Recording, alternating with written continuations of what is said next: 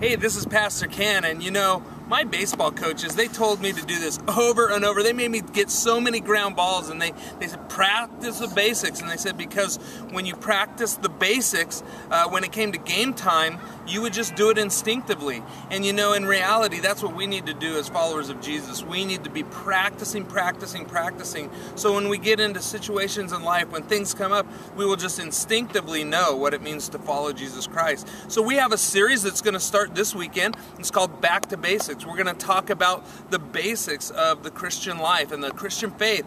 And I just pray that you'll come and that you will just get filled up with uh, His Word and the basics so that we'll know how to live for Jesus Christ in the world. Uh, I hope we'll see you this weekend. We have our Saturday night services at 5 o'clock on Saturday.